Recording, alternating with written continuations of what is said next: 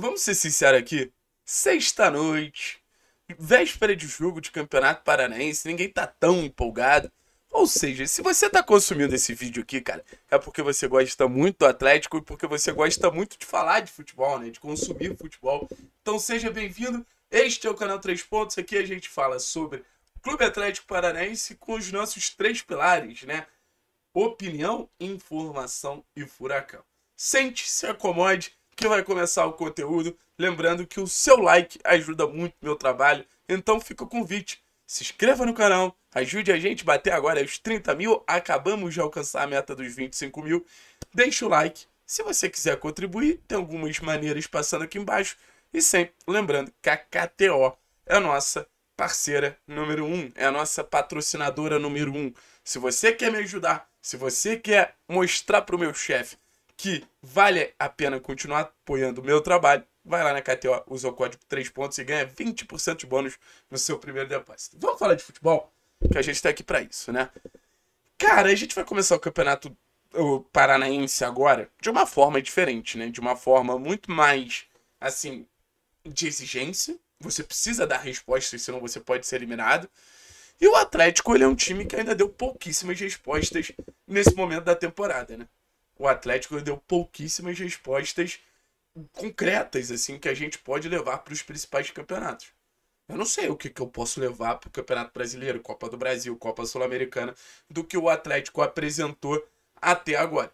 Então fica um sentimento que é o seguinte: cara, se a gente não sabe até agora o que a gente pode levar para as principais competições, talvez a gente tenha que começar a construir a partir de agora talvez a gente já tenha os primeiros sinais e a gente precise começar a construir a partir de agora, sim. O que não é um problema. A gente ainda tem seis jogos de campeonato estadual. E, cara, ninguém é perfeito na primeira rodada do Campeonato Brasileiro. E eu tenho um cenário assim. Se você é perfeito na primeira rodada do Campeonato Brasileiro, provavelmente você não vai ter fôlego de longo prazo. Então não é um problema não estar no auge agora. Você tem que estar no auge, na hora certa, no lugar certo. Podemos dizer assim. Vamos lá. Qual é o intuito do vídeo? Citar três jogadores. Denit, Zapelli e Christian. E por que, que eu acho que esses caras eles precisam jogar juntos? Talento. O futebol, muitas e muitas e muitas vezes, ele acaba sendo robotizado, mecanizado por jogadores que entregam coisas importantes ao jogo, como é o caso do Canóbio, por exemplo. O Canóbio, ele tem limitações com a bola, mas ele é extremamente importante em vários sentidos. Tanto que, cara, desde que ele chegou, a maioria dos treinadores bota o Canóbio como titular. Mas você precisa sempre priorizar o talento. Pelo menos é como eu enxergo o jogo. Óbvio que jogadores talentosos vão ter obrigações táticas, jogadores talentosos vão ter obrigações defensivas, mas jogadores talentosos eles precisam ser prioridade porque eles têm muito mais ferramentas para solucionar os problemas que um jogo de futebol ele te entrega. Porque o jogo de futebol é basicamente isso: problema, solução de problema, problema, solução de problema, problema, solução de problema. E a partir desse cenário, se você tem ali um jogador que vai ter dificuldade de solucionar o seu problema, o que, que isso vai acabar gerando? Vai te estagnar no jogo. Vai te impedir de, assim, fazer o que você busca. Porque se o Atlético ele pretende ser um time de posse de bola, se o Atlético pretende ser um time agressivo, se o Atlético pretende ser um time ofensivo, ele precisa ter jogadores talentosos que façam ele ter a bola, que façam ele, no último terço, encontrar soluções e que façam ele tá atacando a todo momento. A última coisa que faz sentido foi, por exemplo, como a gente escalou o time no Atletiba. Eric, Julimar, Carnóbio, Maestriani, Filipinho. Cara, um time muito físico. Com pouco talento. Eu acho que a gente tem um cara que é acima da média no, do, do talento, que é o Fernandinho. O Fernandinho, mesmo como camisa 5, é um monstro nesse quesito. É um absurdo nesse quesito. Um cara, assim, de um nível muito, muito, muito alto. Só que eu acho que a composição de talento do Atlético ela precisa ser maior, porque o Atlético pode ter um time extremamente talentoso. O Atlético pode ter um time extremamente talentoso com o Esquivel, com o Godoy, com o Fernando, mas principalmente com, o Fernandinho, com o Pablo, com o Mastriani, mas principalmente com esses três jogadores. Christian, Zapelli e Benítez. Eu acho que é a maior concentração de talento ali. E eu gostaria de ver os três interagindo. Eu já vi algumas vezes como Christian e Zapelli juntos funciona e funciona muito bem.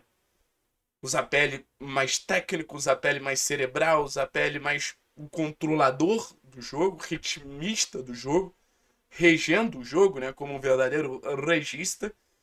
E você tem ali o Christian intenso, povoando, tocando na bola a todo momento, buscando o jogo para que, que o jogo seja dele. E essa combinação dá muito certo.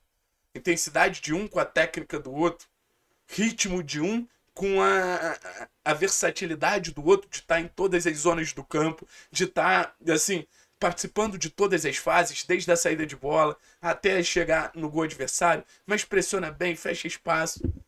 Então acaba sendo um cenário que eu acho que o Atlético cresce muito quando tem Christian Zapelli em campo e o, e o meio-campo ele acaba virando um setor muito vital. Porque o meio-campo do Atlético, cara, eu acho que é, é o setor mais importante para o time funcionar. Até por ter jogadores desse nível até por ter jogadores dessa, assim, dessa qualidade.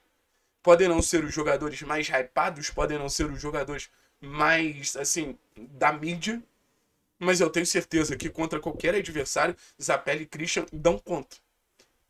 Muita, eu tava até discutindo com o parceiro, Pedrinho Marcel, inclusive forte abraço. Vou ver se eu acho aqui, cara, que eu que ele botou aqui que o Atlético não tem um meio atacante confiável no Twitter. Aí eu comentei zoando, né? O que você faz com o Zapelli é crime. Aí ele, a qualidade dele é indiscutível, mas não pega na pelota em jogo com espaço disputado. Muito difícil imaginar ele resolvendo jogo importante. Aí eu botei assim, pô, jogou bem contra Grêmio, Galo, Bragantino Flamengo. Aí ele acabou comentando que contra o Grêmio tinha muito espaço e realmente tinha. Mas eu acho que a gente já teve uma mostragem do Zapelli contra Inter, contra Grêmio, contra o Flamengo, contra o Bragantino, contra Galo, contra o Santos, contra o Cuiabá, que são jogos ali chatos. O Zapelli não é um cara que chegou agora e só jogou o campeonato estadual. O Zapelli é um cara que, desde a temporada passada, os melhores momentos de 2023 do Atlético foi quando você tinha Vitor Bueno e Zapelli em campo. E o Zapelli fundamental ali para essa companhia, para esse Robin do Vitor Bueno. Só que agora o Zapelli é o Batman. E o Christian assume essa posição de Robin exatamente para potencializar o Zapelli. E se você tem esse meio campo funcionando, você vai ter naturalmente seu sistema ofensivo funcionando como um todo. E quem está nesse sistema ofensivo do Atlético? O Romeu Benítez. O Benítez não foi bem nos primeiros jogos. E foi um cara que eu patrocinei desde muito cedo, né? É, assim, vendo os jogos do Guarani do Paraguai, quando o Benítez estava chegando, eu fiquei um pouco pressionado, não nego. E assim, não foi bem nos primeiros jogos, só que, cara, começa. Sei que, pô, os adversários que a gente tá se baseando são fracos, mas contra o Londrina foi bem. Aí contra o São José vai muito bem novamente. Jogador inventivo, jogador criativo, jogador rápido, jogador que tem um contra um, jogador que tem boa relação com a bola, a bola chega nele, não parece que assim, o jogador tá dominando uma arma. Então é um sentimento muito legal de você ver como o Benítez ele ele acaba sendo uma peça útil, como ele acaba sendo uma peça importante até para um Atlético que, querendo ou não, é um time carentíssimo quando o assunto são seus pontos. Canóbio, Coelho, enfim, uma relação extremamente desgastada. Então você tem a intensidade de Christian, o arco do Zapelli e a flecha do Benítez. Isso tudo, jogadores que têm um potencial de crescimento enorme. Óbvio, são jogadores jovens, são jogadores que vão amadurecer, são jogadores que em algum momento vão oscilar. Mas se você não tá doido para ver esses caras juntos, leve, flutuando, construindo, chegando no ataque adversário, meu irmãozinho, você tá precisando de terapia. Não, tô zoando, não vou brincar com isso não. Mas você tá precisando de, de carinho. Você tá precisando de amor e de carinho. Já diria nosso amigo Kevin Cris. Valeu, pessoal. Tamo junto. É nóis e que Osório possa entregar esse entretenimento. Porque ver esses caras juntos, para mim, pelo menos, é entretenimento puro. Forte abraço, heróis.